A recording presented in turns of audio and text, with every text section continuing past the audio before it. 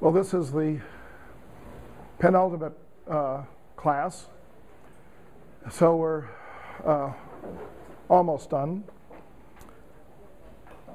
The whole course began um, in the fall of last year, starting with uh, more or less the Neolithic Revolution, which is universally accepted as sort of a, a, a major change point in, in human experience.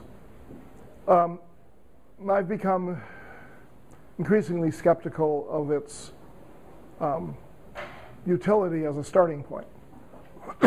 Because it seems to me that by the way the Neolithic Revolution is defined, focusing primarily on grain growing in the Egypt and Mesopotamia and other old world places, that it, um, it fails to look at many of the interesting phenomena that are happening at the same time or uh, roughly the same time in other areas. And therefore, from the very outset, when you take that as the beginning of your narrative,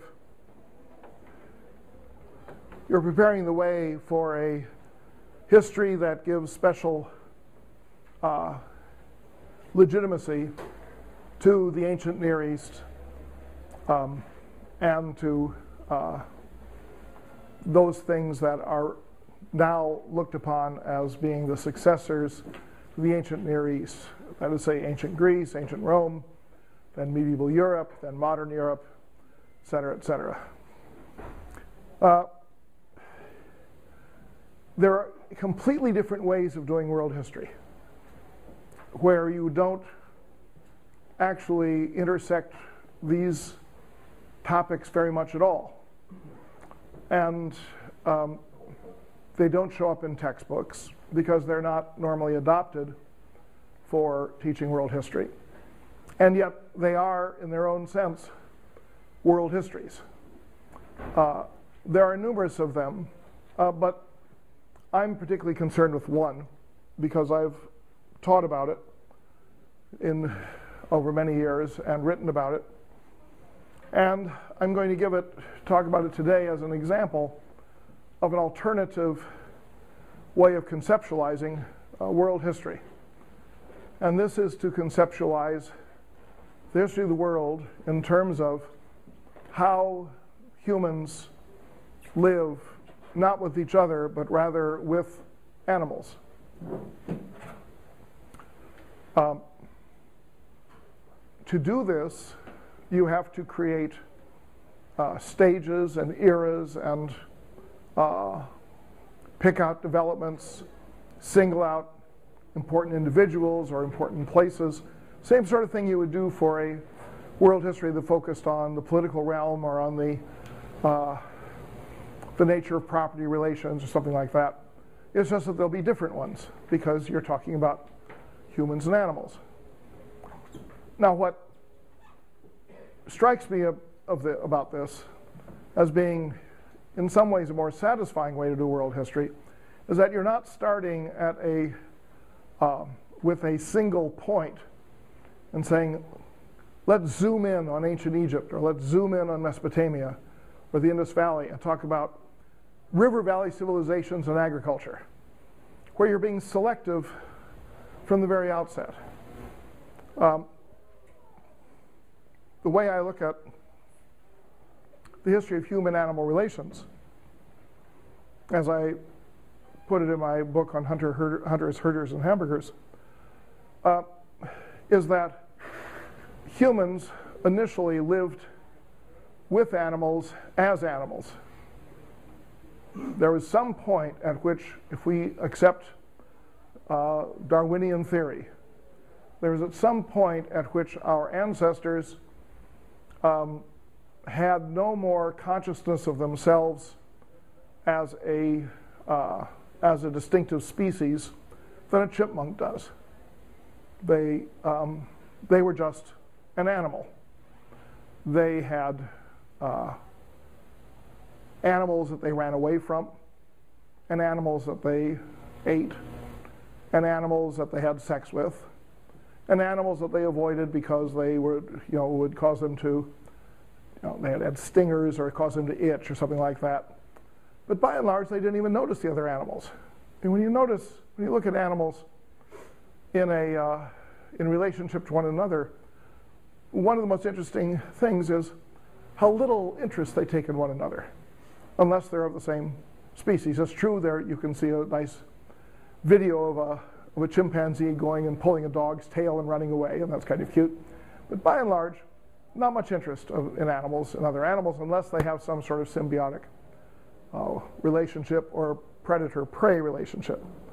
So the first stage in the development of human-animal relations, as opposed to simply humans being animals, is what I call separation, a process by which uh, some uh, species in our line of, of evolution uh, came to be aware that they were different or that they were distinctive or that they were conscious of themselves as a species and other animals um, uh, were different. In other words, they were people and the other animals were animals. We don't know when this was. Uh, we don't know why it happened. We don't have any anything other than conjecture to uh, guess at what may have caused uh, early hominids, also I use hominid because we don't know exactly when it occurred, to see themselves as being different from other animals. But we know it happened because we don't, we, we have a mentality very different from chipmunks today when it comes to looking at, at the world, and we see ourselves as separate from animals. That had to start sometime. Now, where it started, uh, that's easier to say. Uh, it almost certainly started in East Africa because there is, it's very hard to imagine this process not already being uh, in train at the time that modern Homo sapiens sapiens left East Africa uh, some 50,000 years ago and expanded around the world. So I think they took their notion of, of being a distinctive species different from other animals uh, with them. Um, there's no particular indication that they thought other animals were special, they were just different. But over a long period of time, let us say a period of uh, something in the order of uh, 30 or 40,000 years, they gradually thought more and more about, uh, about other animals.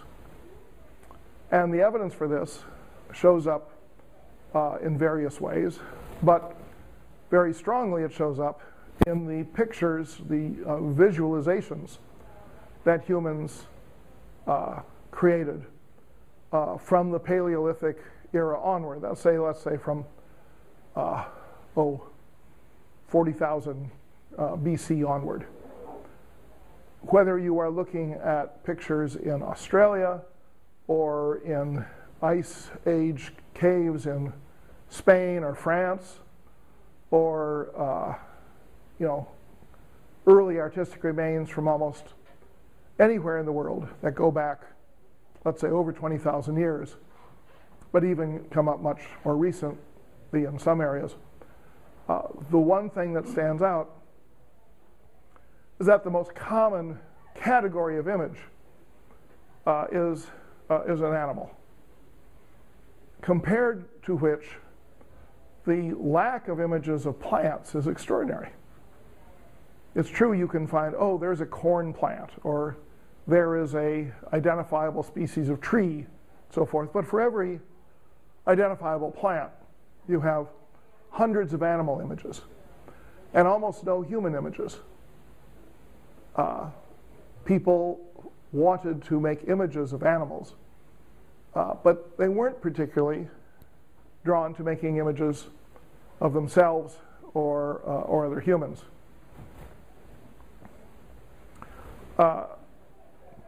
The presence of animals accelerates as you get closer and closer to the era of the first domestic animals. So you have a, um, an intensification of thinking about animals or looking at animals aesthetically. Uh, normally, when these images are looked at, uh, anthropologists and archaeologists are inclined to think that these animals that are shown up are food animals. Now, there's very little evidence of this case. I would say images of an animal being hunted or, or being dead or being carved into pieces, uh, those are extremely rare images. Whereas you may have uh, many, many, many more images that show the animal in motion. Um, and usually in a very uh, majestic uh, fashion. So we don't know whether these were uh, food images. But by the time you get to uh, the first indication of certain animals becoming domestic, it's fairly clear that there is an identification of some animals with supernatural beings. So if you say at the time of separation, humans are saying, you know, we're not animals, we are humans. And animals are just animals. And you go along 30,000 years later, and you have people saying, we're not animals, we're humans, but God is a giant bull, or our lineage descends from kangaroos, or something like that. The, the animals go from being not us to being elevated above us. Um, and we end up with this uh, very, very strong uh, relationship of animals with, uh, with the supernatural, particularly with, uh, with uh, divinities. We also have a plethora of legends and beliefs that surely must go back to a very early point that deal with uh, intersections between humans and animals. That is to say, that deal with uh, beings that are part human and part animal, uh, whether it is a werewolf or a centaur or a were llama in Peru or um, uh, whatever it is. I mean, we, people believe that there were uh, intersections between humans and animals. And they also very strongly believed that there were situations in which humans could actually either become animals uh, for, for the time being or kind of channel animals. And this is generally falls into the category considered as shamanism. Uh, that is to say, religious beliefs that uh, question the boundary between humans and animals. Um, so you, what, you, what you have with this growing tendency is a boundary issue. Where do humans stop and animals begin? Initially, in the period of separation, that is, how do we rise above animals? And then increasingly, it becomes uh, what's the boundary between us and animals that are um, more powerful or faster or more beautiful or more um, magnificent and more indicative of a of some sort of uh, spiritual quality. Uh, at this point, you know, I, I, I, call this this whole period the period of pre-domesticity, but you're not obligated to use that term. Matter of fact, you're not obligated to remember anything at all. But um, but at the end of this pre-domestic, pre-domestic era, uh, various human societies have reached a very extensive level of identification with animals, um, uh, and it survives in various forms. Uh, for instance, in costumes, uh, the use of feathers, the use of furs, the use of animal masks, um, to have dances that will be imitative of animals. Uh, ethnographers have found thousands and thousands of, of uh, instances of this sort of uh, special um, status of animals uh, that survive uh, down to modern times. Uh, and we don't know when they originated, but it seems likely that they originated tens of thousands of years ago.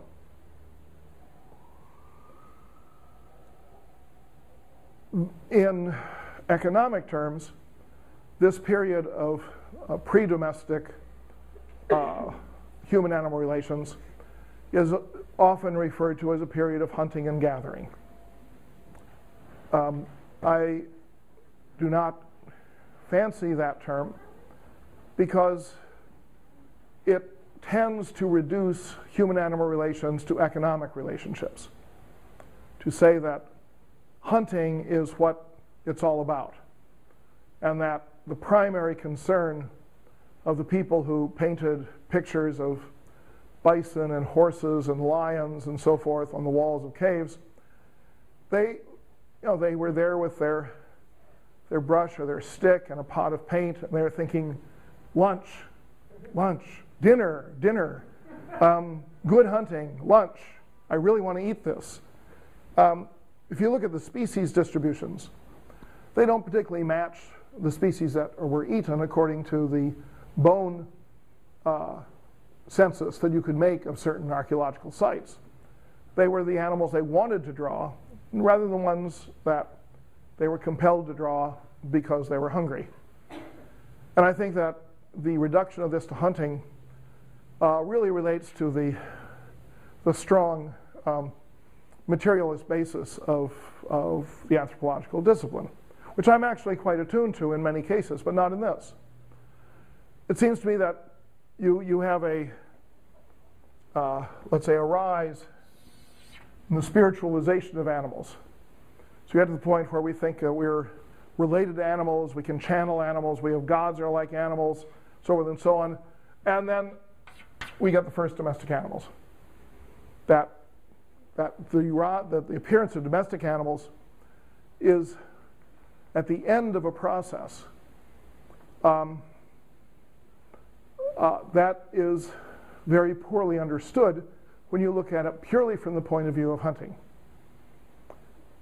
When you look at, at this pre-domestic um, spiritualization or elevation of animals, you look at where it happened, you find it happens everywhere in the world.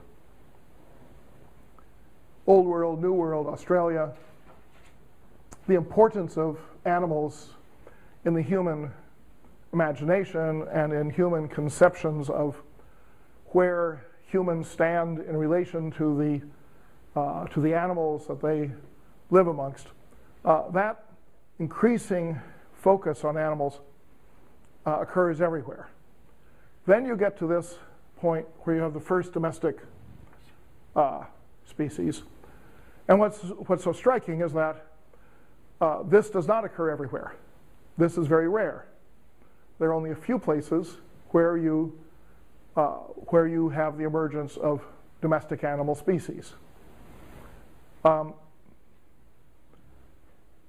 people who talk about the Neolithic Revolution as the beginning point for a world historical narrative say, well, this is when you have the emergence of domestic plants and animals, uh, which is not correct because you have places that have domestic plants that do not have domestic animals. This would be true, say, of the precocious civilizations in the New World, in Peru and Mexico. Other places where you have domestic animals, but, uh, but you don't have domestic plants, this would apply, say, to the early cattle herding cultures of the Sahara and the Sahel area south of the Sahara. Uh, there is really no relationship uh, intrinsic to the, uh, to the business of uh, domestic plants and animals. It's rather a carryover from the concept of hunting and gathering. That if you have a foraging community, which is the term I would prefer, uh, foragers uh, gather plant life and hunt animal life. Therefore, if you move to a different stage in world history where people are uh, harvesting deliberately planted plants, then it seems proper that they, are, that they now move from hunting to harvesting animals that are domestic animals. So there's a certain logic to it, but it's a logic that isn't born of, a, of an examination of the actual processes, um, but rather is kind of a continuation that you go from uh, hunting and gathering to domestic plants and animals without asking whether that makes any particular sense. And I would argue it doesn't make any particular sense. There is a, uh, a, a large library of literature dealing with the emergence of domestic animals, and it's um, it does not converge onto a uh, onto a very plausible uh, scenario. We don't know how animals came to be domestic. My own feeling is that each species uh, became domestic in its own way, that you don't have a process that was a replicatable process that occurred with species A, species B, species C, and so forth. This is not the common view. The common view is that um, humans tried to domesticate everything, to domesticate all animals, and only succeeded in a very small number of cases. Uh, those cases being therefore uh, uh, designated as the only animals that could be domesticated. And yet, nobody knows what the process was. Uh, the, the great uh, structuralist, anthropologist uh, Claude Lévi-Strauss pos- uh, you know, observed quite correctly that if you had some animals, or indeed if you had some plants, but let's stick with the animals. If you had some animals that were wild animals, um, and you wanted to domesticate them, but you had never seen a domestic animal, how could you want to domesticate it? How could you visualize that this wild animal might become a domestic animal when you didn't know what a domestic animal was? Uh, now, in the first instances, there can be no question but what domestication was an unanticipated, an unanticipatable outcome of things that people had no grasp of. Now, Lévi-Strauss says we must assume that the people who lived at this, at this juncture um, had a scientific spirit that led them to try experimenting with different groups of animals to see what would happen. And then, lo and behold, some of them became domestic. At which point, the scientific spirit disappeared, not to reappear until the 18th century in Western culture. Uh, and he's, he, he talks about this as the savage mind, that there was a, a basic orientation toward experiment, toward um, trying things to see what would happen, that must have existed, because otherwise, otherwise, how could you account for certain uh, groups of animals becoming domestic. At the other end of the scale, which is um, closer to where I am in my thinking, you have the idea that animals uh, became domestic um, uh, by themselves. The animal that is most frequently held up as an example of self domestication is the cat. The earliest cats seem to come from uh, probably from Egypt. The earliest cat bones come from Cyprus, um, but Cyprus has no wild species from which the cat could have uh, derived. Therefore, the domestic cat had to already be there and be brought to Cyprus by people in order to have those bones appear. So we don't have bones going back to the earliest phases of Egyptian society, but there's uh, a strong argument made that it more or less co- coincides with the, uh, with the beginnings of agriculture in Egypt and the notion of self domestication is that when people started to grow grain uh, and plant grain, it meant that every time they harvested a crop, they stored a very substantial portion of the crop. Uh, they stored it so they would eat it during the fallow year, the fallow months of the year, and so they would have, uh, and so that they would have seeds left to plant at the beginning of the next plant, planting season. Uh, this stored grain uh, attracted rodents. Uh, the rodents uh, were the favorite uh, prey of small, uh, of small cats who are native to, to North Africa. Um, and indeed, there are cats that are really almost indistinguishable in size and, and shape to, uh, from, from domestic cats. You can go to zoos and see them. Uh, so you had cats that came into the community uh, because human communities were full of mice and rats and other uh, grain eating uh, vermin. And the humans were happy to have uh, the cats eat the vermin as long as they didn't eat their babies, as long as they didn't think of the humans as being, um, you know, objects that they should attack. So the logic of it here is that when you had cats that came into the human community to eat the mice and the rats, any of those cats that was uh, that appeared to be ferocious was clubbed in the head by the people and killed.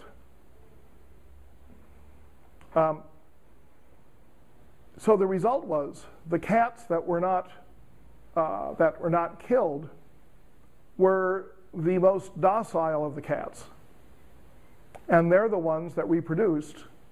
And after a certain number of generations, they're the ones that become the parent stock of domestic cats because generation after generation, only the most docile of the cats in the village will be allowed to live. The others will be killed or driven off. Then, once you have pussy cats that you can trust to, you know, purr and rub up against you for food and so forth, uh, then there's no need for the wild cats because you now have a domestic cat. So then you drive off all of the wild cats. And now you have domestic cats and you breed them. But you don't know how you, why, why you got them. They just suddenly appeared. And it occurs over a long enough period of time that nobody would have had a memory of, uh, of the first wildcats coming into the village. Because we're talking about, oh, apparently something like 30 generations before you get a completely, uh, completely docile uh, pussy cat. Once you have domestic cats, then they spread. Um, it isn't that you that people go through this process everywhere, because once you have cats, then you spread the cats. Uh, why? Because they eat the mice and the rats. So when you look at, say, the history of China or Japan, um, the evidence would appear to indicate that cats appeared in East Asia um, because they were kept in Buddhist monasteries uh, to kill the mice and the rats. Uh, but they were not known in ordinary uh, uh human settlements. They were brought in because the Buddhists expanded eastward from, uh, from Afghanistan and India and brought the Middle Eastern cats with them. So, according to this theory, cats become domestic without anyone knowing what's happening. The same argument is made in the case of pigs and dogs. Uh, pigs and dogs are uh, scavengers, um, or they are at least scavengers in part.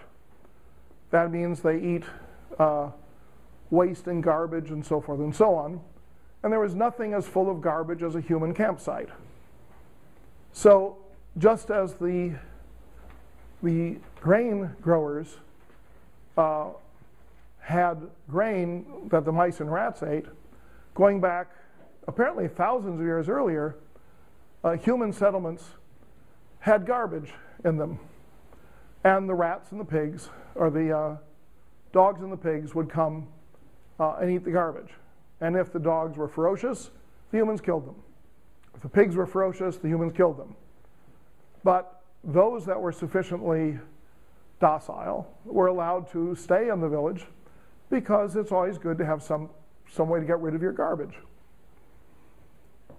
This is very different from the idea that humans domesticated dogs, or domesticated wolves, I should say, you know, for hunting purposes. It's very little indication that dogs were used for hunting in a, uh, you know, in their earliest, uh, in their earliest uh, domestic incarnations.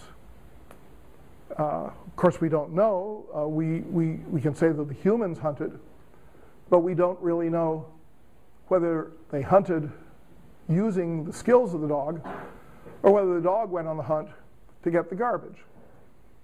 Uh, the only place where we have some reasonable indication is in Australia, where you had uh, Aboriginal peoples who arrived in Australia 40,000 years ago.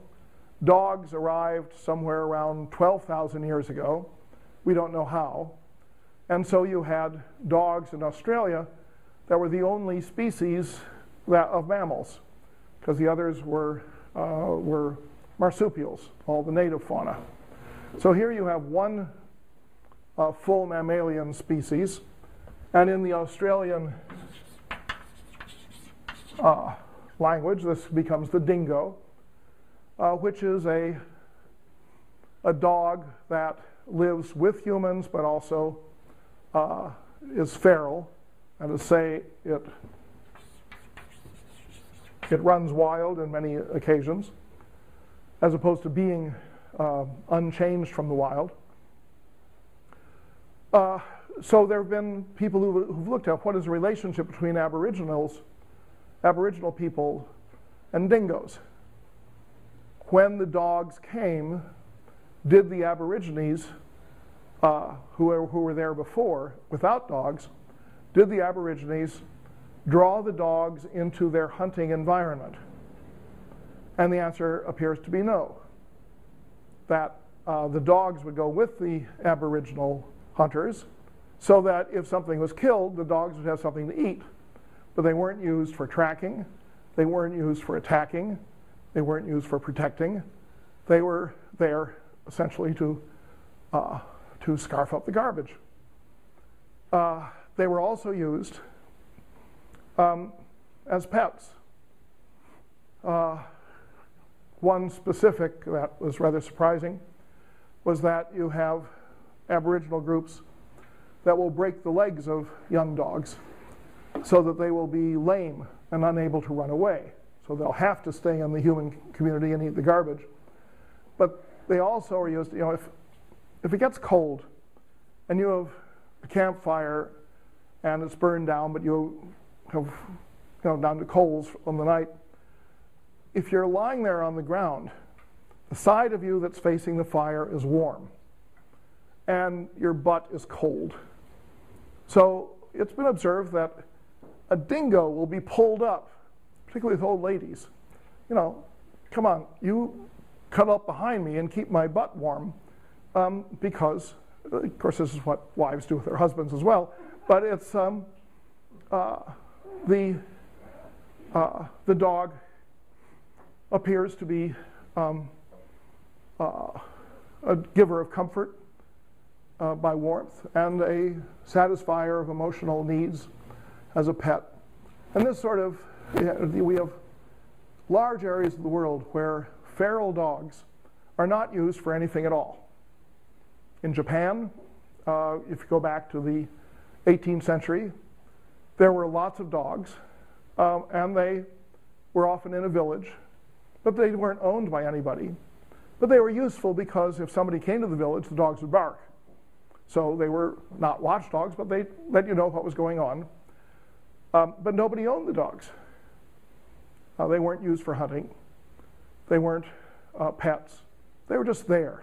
India, the so-called pariah dogs, uh, again, they were just there. So it's true that there are hunting peoples who use dogs for hunting, but dogs in general do not seem to have a clear lineage as hunters. I think they do have a clear lineage, lineage as uh, scavengers of garbage. Uh, pigs, a little bit different because you have two different patterns with pigs. A pattern that seems to emanate from Southeast Asia, where pigs primarily lived in villages and ate garbage, Another pattern that seems to be most common in Southeast Europe, which is where pigs live in the forest and eat nuts.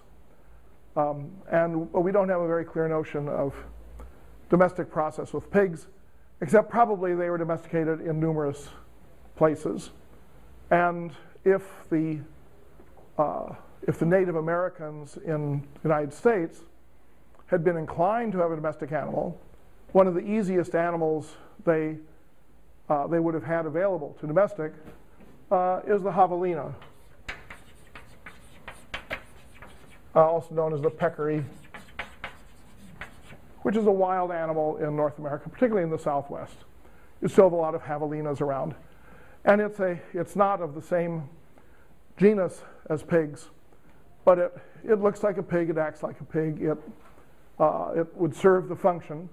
And when the Europeans came, they said, you know, this animal is easy to, to domesticate. It, uh, it's tasty. Uh, it doesn't mind being around people. But we already have pigs. So we don't need another pig. So the peccary never gets domesticated. Yeah, you can go species by species and find patterns of domestication uh, that uh, do not add up to a single process. And I don't think there ever was a process of domestication.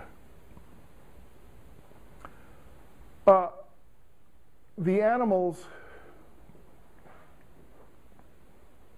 that we know most about are cows, sheep, goats, and around 8,000 uh, BC, 10,000 years ago, and about uh, five or 6,000 years ago, uh, horses, and to a lesser degree, donkeys and camels.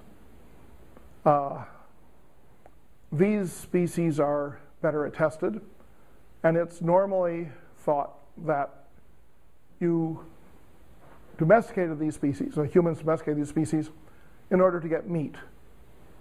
Now, there's a problem with that, because supposing you go and you kill a wild, uh, a wild cow and you bring home the baby cows. Um, do you eat them? Uh, or do you keep them around until they have babies? And then do you eat those babies? When do you eat them? There's something very sort of um, Calvinist about the whole thing. You bring in back to the camp a, a lamb or a calf a docile uh, infant, and you think, I could have lamb chops or, you know, veal parmesan um, tomorrow. Or I could wait two years and then I could have it. But then, you know, if I want to accumulate, maybe I should wait four years. Maybe I should wait 12 years to have a whole herd, then I can have a lot of lamb chops. You know, this notion that you put off until years in the future, the pleasure of meeting you might have now uh, doesn't make much sense.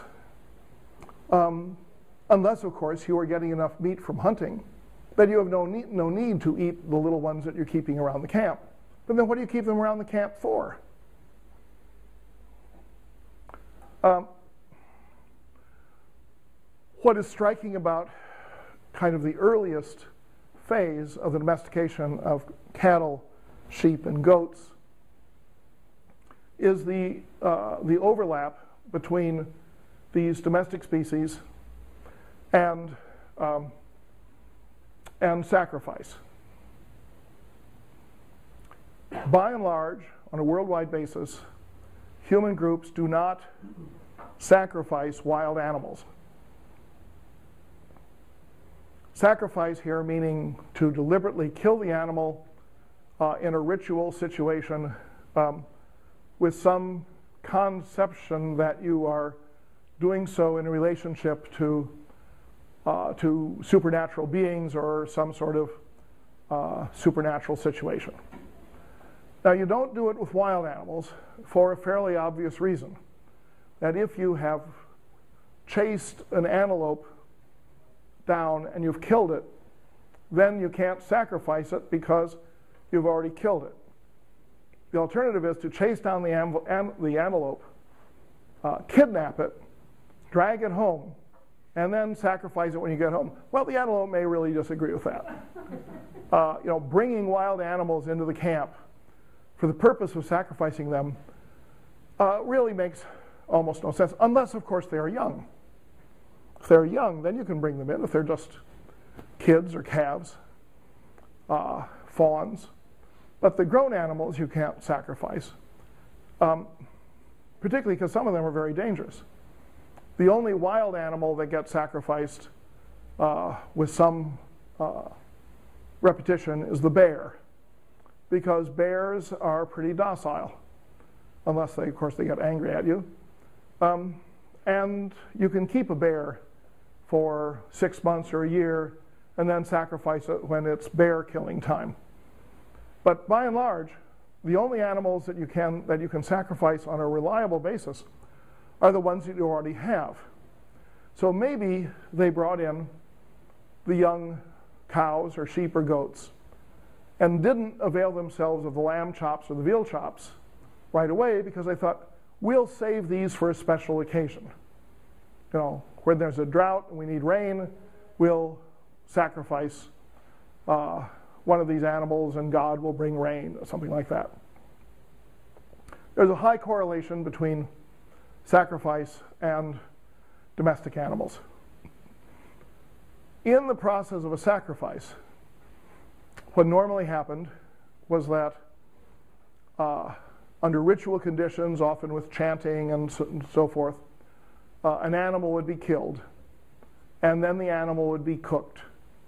And select portions would be cooked under circumstances where the aroma or the smoke or the flesh were supposed to please the god.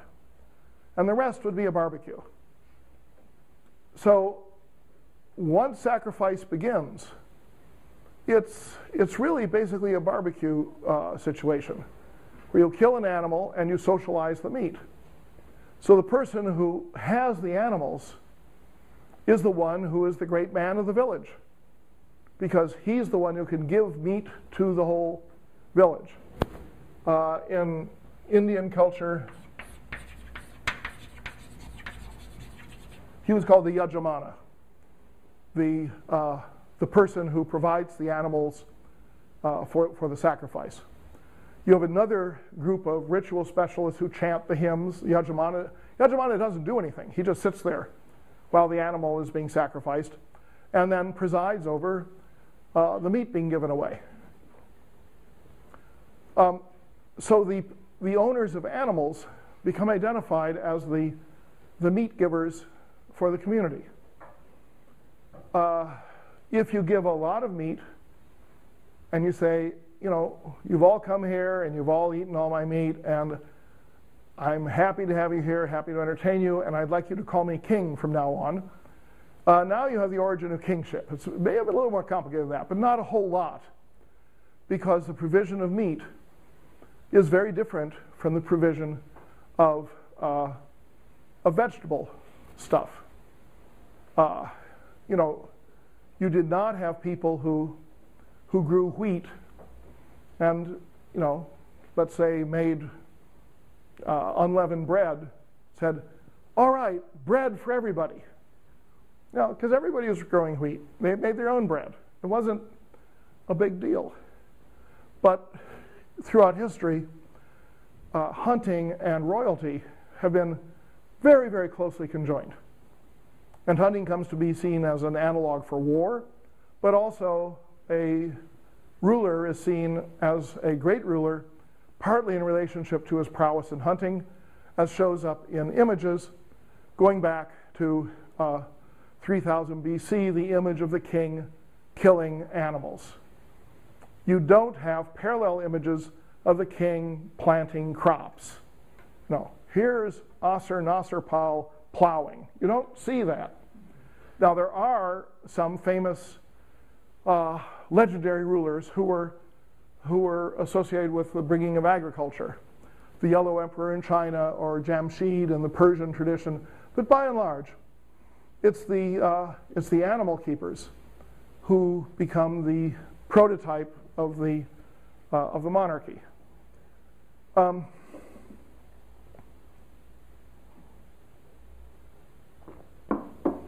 why did they sacrifice? One of the most common ethnographic findings of uh, modern uh, foraging communities is that killing animals uh, brings into brings the killer into a state of guilt that the animal's spirit is offended by being killed either individually or uh, as a species. So you have time and time again examples of rituals, prayers, or sayings in which hunters apologize to their prey for killing them. Apologize to their prey and say, We're only killing you because we need, we need the food.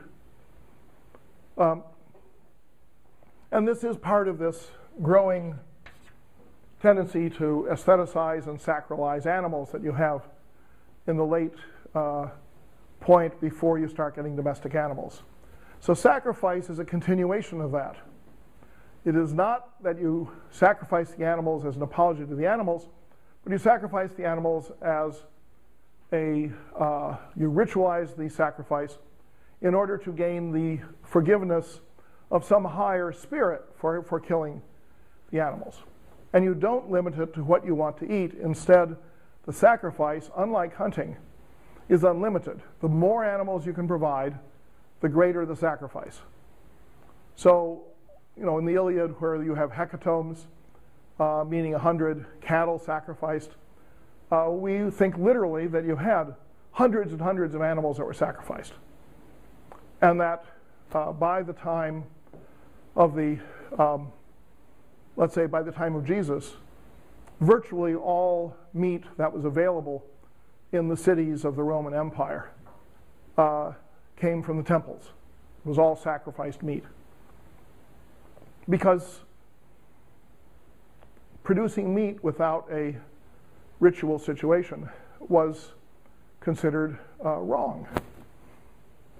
It, incidentally, you, you think of this and then you think of how uh, when Cain and Abel present the first fruits of their endeavors, God prefers the first fruits of, um, of Abel, who is the animal herder, to the first fruits of Cain, who's the grower of grain. And so Cain kills Abel out of jealousy.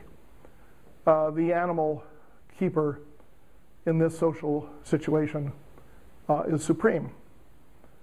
But it means that this pattern of hunting animals uh, in, in sacred situations isn't necessarily a universal feeling. What seems to be universal is the idea that you apologize to the animals.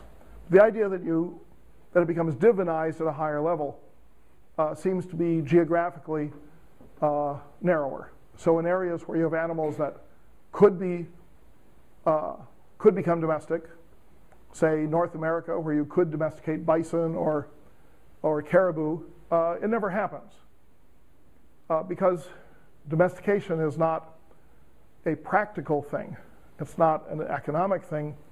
It is initially a, uh, something that is part of the social functioning of the group with respect to the acquisition of meat.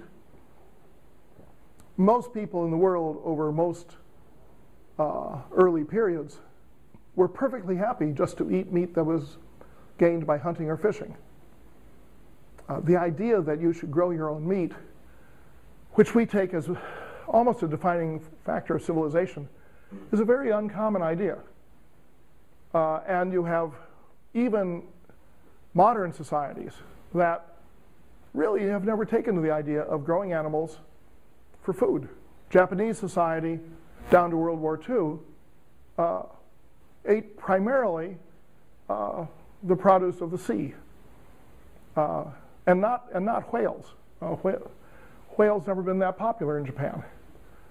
Um, so, uh, so you have this, this domestication that, in my mind, is pretty much a continuum along here. That is to say, as you get more myths, more legends of human animal relations, more questioning of the spiritual boundary between humans and animals, more sacralization, and so forth, the domestication comes in at this juncture in certain areas that happen to have certain uh, religious or ritual uh, practices. The animals were only used for that. There is, you know, sheep. If you go back to um, 10,000 years ago, uh, people had domestic sheep, but there was no wool. Uh, wild sheep don't have wool. So wool comes along later as what uh, one major scholar, Andrew Sherratt, calls a secondary utility. There apparently is a lapse of time of uh, several thousand years before there are types of sheep that have wool. There's a lapse of time of several thousand years before people start to drink milk. It's a lapse of time of several thousand years before people start to use animals to plow. Now, all these things are now classified as secondary utilities because we have fairly concrete evidence of when wool and plowing and milking come in, and it's not until well after the first archaeological evidence of domestication. So, what, what we end up with is that when you have domestic species of these uh, major uh, quadrupeds, initially, say if you have an axis here of um, um, oh, uh, graphing uh, spiritual importance or uses against economic utility. Initially, you'd have a pretty high level for ritual or sacredness of animals, and a fairly low level of utility because you're still getting um, much or most of your animal protein from animals that you're hunting. Uh, over time, particularly as secondary utilities are discovered, the, the economic utility goes up and the spiritual utility goes down. Uh, the study of, of human animal relations pretty much comes in at this point, at a point where it's assumed that domestic animals are primarily useful. And indeed, there may be people who, will, who would sort of say uh, domestic animals are useful animals. So even animals that are born wild, like elephants, become useful and therefore talk about domestic elephants, even though they're not born in captivity. Uh, whereas the spiritual side of animals gets to be um, uh, relegated to insignificance because uh, that is seen to be primitive and savage and uh, unacceptable. So that sacrifice, blood sacrifice, tends to disappear uh, or to become metaphorical. Uh, gods that have human characteristics, uh, blended with animal characteristics, are supplanted by gods that are entirely human. Um, notions like uh, werewolves and centaurs are written off as myths. And shamanism, where you have a priest who tries to channel an animal spirit, is considered to be uh, a sign of savagery. Instead, you have uh, economic utility as being the overwhelming uh, uh property of animals. The, the, what this means is that the division between domestic animals and wild animals, uh, which is rather slight at this beginning point uh, because you've spiritualized your wild animals and you're coming off of that period. Uh, that becomes greater and greater. So by the 17th century, um, the smartest people in Europe, uh, according to the uh, to the modern index of smart people in Europe, um, that is, say, the first Enlightenment geniuses, um, began to think that animals are simply machines, that they are 100% uh, uh, economically useful entities, and they have no spiritual uh, or um, uh, affective characteristics at all. This is particularly associated uh, with the thinking of, um, of Descartes, who wrote in numerous of his writings about how animals are simply uh, God's cuckoo clocks. Um, humans can make uh, a mechanized device, and God makes mechanized devices that are simply cleverer than the human ones. But like the human ones, they have no feelings, they have no memory, they have no anticipation, they have no, uh, they have no spirit. Uh, and therefore, if you want to find out how medicine operates or surgery, you simply cut open an animal. And you certainly don't worry, care, care if the animal uh, screams or cries, because God designed it that way.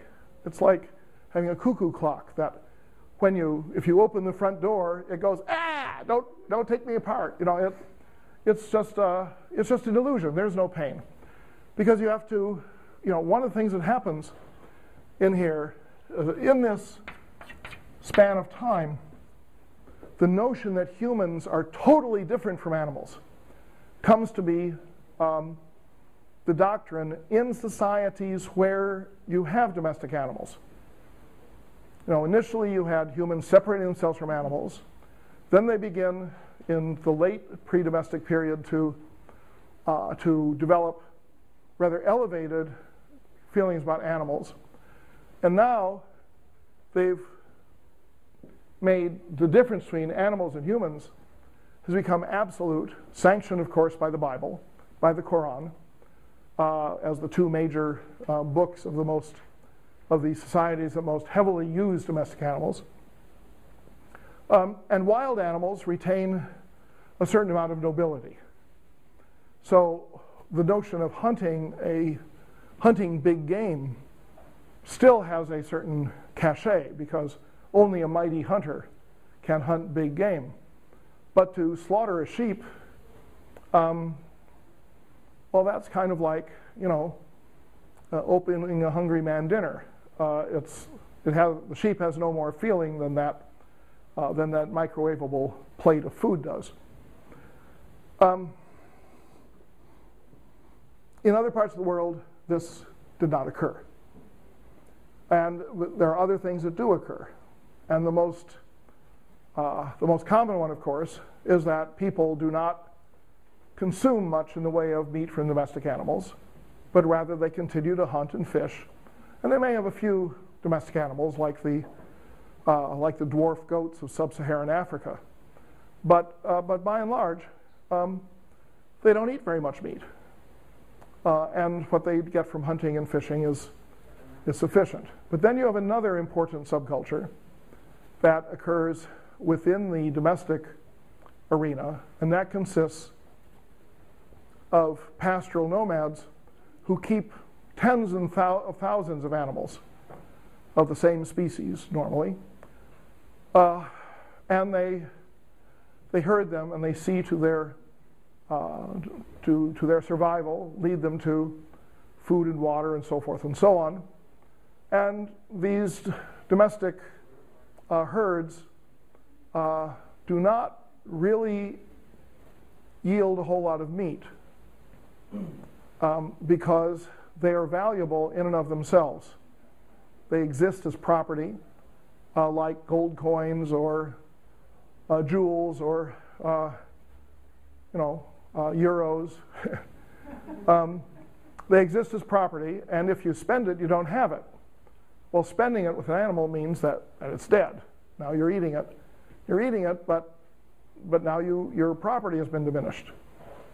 So they tend to hold animals, often way in excess of those that are easily uh, sustained by the ecosystem they are in. Uh, they hold those animals because they are indicators of wealth. Uh, they consume secondary products uh, like um, you know, wool or hair or um, uh, milk.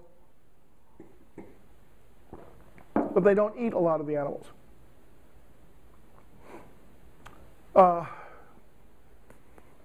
obviously, you only have pastoral nomads in areas that have domestic animals, uh, but also have enough space that is not readily usable for agriculture to have free ranging space for these animals.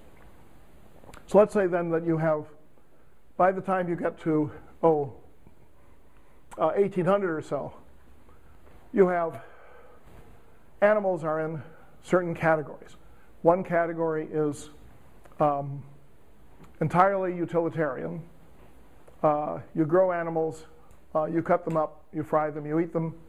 Another one is that you grow them as a pastoral nomad. They are wealth.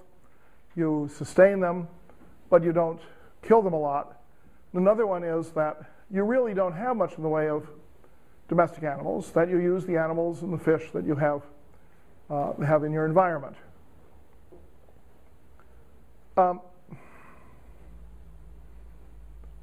there's a turning point that sets in, seemingly in the 18th century, uh, that has two aspects of it. And the relationship between those two aspects has been debated, is being debated. One of those aspects is the growth of humane feelings. Uh, this is particularly in Britain, although not exclusively in Britain, um, but pretty close to exclusively in Britain.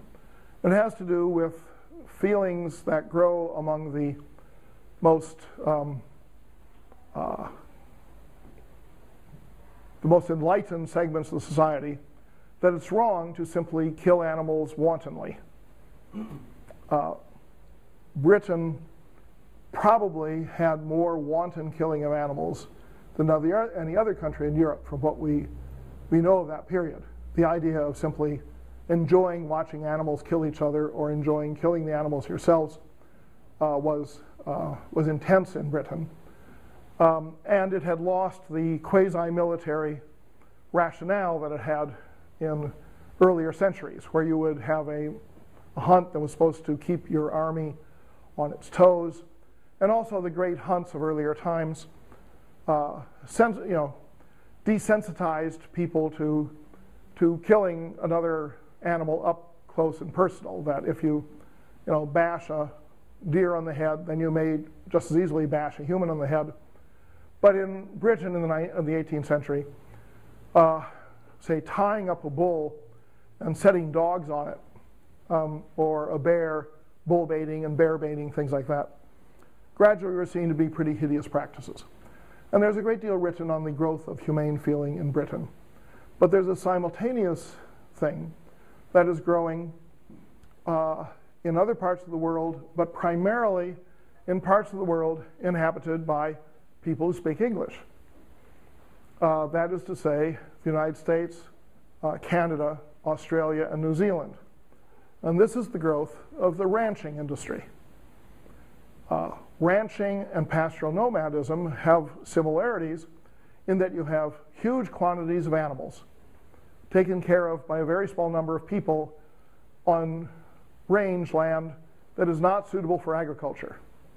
The difference is that with a uh, pastoral nomadic society, every animal is valuable uh, in its lifetime because the quantity of your wealth like the quantity of your, uh, of your gold coins, is um, uh, defined by how many animals you have. In the New World, which had no domestic animals, that had huge amounts of space that animals could live in, uh, and, the, and the animals that the Europeans brought um, reproduced with incredible abundance in Canada, United States, uh, Mexico, and uh, Argentina in particular, Um, most of the animals couldn't possibly be used. It was, a, it was a very unusual situation. You had, let's say, probably millions of animals that, um, you know, the majority of which were not owned by anybody. Every animal in the old, in the old world was owned, every domestic animal. And in the New World, most of them were not owned. And there was no way to, the people did not see them as sources of wealth on the hoof. Uh, they only became sources of wealth when you sold their parts. So the ranching industry grows up uh, making its money, acquire, you, know, you know, realizing its wealth through the killing and dismemberment of animals rather than through maintaining them as wild, uh, wild livestock. No society that has had, no country that's had a, a large and active uh, pastoral nomadic society has yet succeeded in converting their animal husbandry to a ranching society because it's, they're just contradictory. Ranching says kill animals, sell the pieces, and have pastoral nomadism says you know, hold the animals, uh, help them reproduce, and you increase your wealth. Two different, entirely different concepts of wealth. But the ranching fed into the growing humane feelings. The idea that it is um, that just killing animals because they're sort of machines or they're just products um, is bad uh, because it's inhumane. And yet, on the other hand, world uh, history has shown in modern times that every time you have a significant increase in per capita income, uh, meat eating increases. So ranching gets bigger and bigger and bigger, particularly once you get uh, refrigeration and salting and other uh, ways of preserving meat and, and distributing it. Uh, the, the overlapping, particularly in the English speaking world, of ranching, uh, that is to say, the um, produ production of a maximum amount of meat and the realization of wealth by killing animals uh, comes into contradiction with the idea of humane treatment of animals. And this grows in the 19th century and particularly in the 20th century. And this, to my mind, is where we come to the end of the road for the whole concept of domestic animals. Because domesticity uh, has created uh, irresolvable conflicts that are moral, that are intellectual, in which you have people who profoundly believe that it is wrong to kill animals and eat them, uh, particularly domestic animals. Uh, and yet at the same time, the society is producing more and more uh, meat. Uh, in the post-World War II era, in, uh, in the United States and uh, in particular, you have a profound separation between humans and animals so that meat is no longer uh,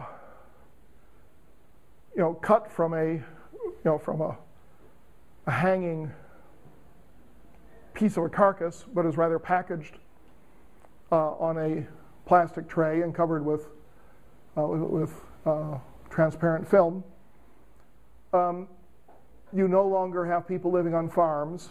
You no longer have horses uh, pulling vehicles in cities. You've gotten to a point where there is virtually no contact between humans and animals except for pets, particularly dogs, horses, and uh, cats. And um, in uh, fiction, movies, television, cartoons, and so forth. That, is, that becomes the new locus of human animal relations. It is in this context that you start to get the development of uh, what I call sort of post domestic uh, anxieties. Um, people who feel that the issue of, of animal rights or animal pain or animal exploitation is uh, as important in their view of the world as, uh, as human rights or human pain or human exploitation. So the animal rights movement becomes uh, the uh, political spearhead of the post domestic uh, era. I apologize for introducing another post word. We have a lot of post words. But this one is rather interesting because it isn't simply a matter of humaneness and, and um, industrial exploitation of animals coming together to produce a revulsion and feelings of guilt, but it also opens a new chapter in people's effort to understand the relationship between humans and animals. So you actually have, if you come up to the post domestic era, you have a reversion to an earlier time as people begin to say, How are we different from animals? And people become fascinated by things like how do animals communicate? How does human speech relate to, uh, to animal vocalization? Um, does the organization of human society in some ways mirror the organization of termite or ant society or the organization of chimpanzee society? Uh, maybe we need to study chimpanzees and orangutans and so forth with intense interest because they're, they're who we used to be. Um, and some people will, uh, will go to, uh, to, to extremes, I would say, in trying to reconnect uh, the severance between humans and animals that comes in in this late period of domestic uh, uh, existence. Uh, this has a carryover into the area of religion, in which people try to reinterpret their religious traditions in ways that will be pro vegetarian and uh, humane to animals. Um, so that if the Torah says that you shall not work on the seventh day, on the Sabbath, it also says, neither should your animal work on the Sabbath. As if your animal was going to go to work without you. You know, you were, I'll take the Sabbath off, but you know, bossy, you go out there and plow all by yourself. It's not quite clear what was all meant by that. Um, but it's very hard to to get away from the fact that ancient Judaism had blood sacrifice, and that if the temple is ever uh, rebuilt on Temple Mount in Jerusalem, there will be blood sacrifice again. And then, you know, huge numbers of Americans will say, ew, they're, you know, they're slaughtering animals uh, in Jerusalem. Why did we work so hard to get that temple rebuilt? Um, I got an email once from a person who'd read my book on animals and he, uh, you know, actually it wasn't an email, it was a review. And he said, it was a really interesting book, learned all sorts of important things I wish I read a long time ago, but then I discovered that the author is profoundly wrong uh, on certain things. For example, he denies that Jesus and the disciples are vegetarians. Uh, and I thought, gee, the loaves and the fishes. That's not the loaves and the tofu meat substitute. Those are loaves and fishes. Um, and what is Jesus? Jesus is the Lamb of God who sacrificed for you and for many. And when you take the cup, you know, this is my blood. You take the, the bread, this is my body. And yet, this is now being recast as a vegetarian uh, tradition. Uh, and then at the same time, uh, you have the idea that pets are really um, pretty much human.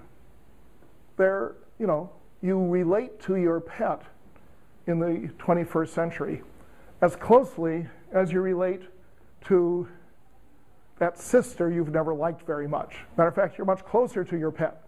Your pet always understands you, you understand the pet. So in America, um, a legend was started about 50 years ago that um, when your pet dies, and you'll find this in any handout from a pet cemetery or a, a pet grief counseling officer or anything like that. When your pet dies, it goes to the Rainbow Bridge.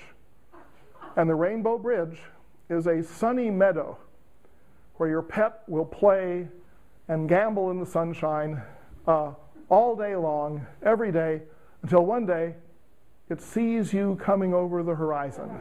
And it runs and it leaps into your arms, and you cross the Rainbow Bridge together into paradise. Um, you know, check it out in Google. Look how many hits you get for Rainbow Bridge, and they're all American. This was a anonymous essay written by a pet lover about 50 years ago, published in a pet magazine, and it sort of went viral in the pre uh, in the, in the pre-YouTube era, and um, so now it's used all over the place because the idea that you would uh, that you would not be with your pet is, you know, you it, that's that's not what the hereafter is for. And so you can read books like Boy Jesus and His Dog. Um, you can also buy the sweatshirt on the internet. Uh, Boy Jesus, there's a dog whom he converts to, uh, to be his friend. Then the dog goes back to its original owner, and uh, uh who is someone who was imprisoned and tortured by the Romans for his belief in the Messiah. And then finally, the owner is dying, and, um, and Jesus now comes and reconnects with the dog, and the owner says, I just uh, hoped I'd live long enough to see the Messiah. And Jesus says, You have. And so Mary and Joseph like, What, what? You're the Messiah? I never knew. But the dog knew. And then Jesus and the dog are going to, it says, Jesus and the dog will be in, in, in heaven together. Um, now, these are things that would have been utterly inconceivable 200 years ago. And while most societies in the, in the world are not engaged in this sort of uh, post domestic set of strange uh, attitudes, uh, it's growing in America and growing even faster in Britain. And is likely, I think, in the uh, over the next couple of decades to become the successor to, uh, you know, freeing the slaves, uh, getting women the vote, uh, civil rights movement, uh, you know, gay and lesbian uh, equality, and animal rights. And my guess is that animal rights is going to emerge um, at the next stage in world history as an international issue. It's like right now where you have someone saying, well, we wouldn't want to have Muslims win a vote in Egypt because they would uh, abolish drinking and oppress women. Uh, okay, that can be debated. But we may get to the point in 20 years where I say, well, we wouldn't want the X's to come to power in country Y because they'll kill animals. And we need to protect the animals. So as a theme in world history, this is one that is global. It has stages. It has dramatic events. It has crucial texts. It has important individuals. And it's undergone a profound change, literally during, uh, during our lifetimes, as post domestic anxieties have emerged uh, as being so important to a uh, major segment of the American community.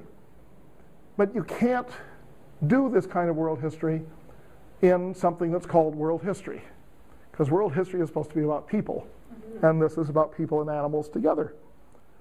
But it's only one of a score of different world histories that might be imagined that would not be um, modeled implicitly, although not explicitly, on the evolution of politics and the evolution of, of, um, of the economy, which is what we have in the um, world history narratives that are before us, not only in my textbook, but in other textbooks and in most of the uh, trade books related to world history that are available.